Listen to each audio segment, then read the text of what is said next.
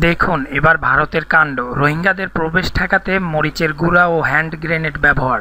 মিয়ানমারের সেনাবাহিনীর নির্যাতন কিংবা নিধনযজ্ঞ থেকে পালিয়ে আসা রোহিঙ্গাদের প্রবেশ ঠেকাতে সীমান্তের নিরাপত্তা জোরদার করেছে ভারত।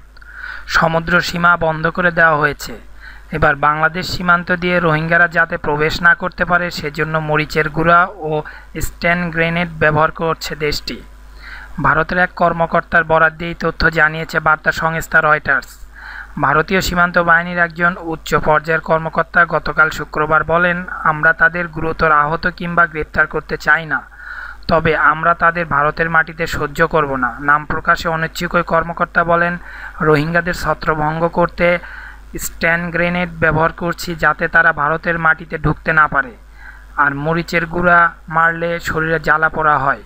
আমার এই চ্যানেল হতে আপনারা যদি আরও লেটেস্ট নিউজ পেতে চান, তাহলে অবশ্যই সাবস্ক্রাইব করুন। ধন্যবাদ সবাইকে।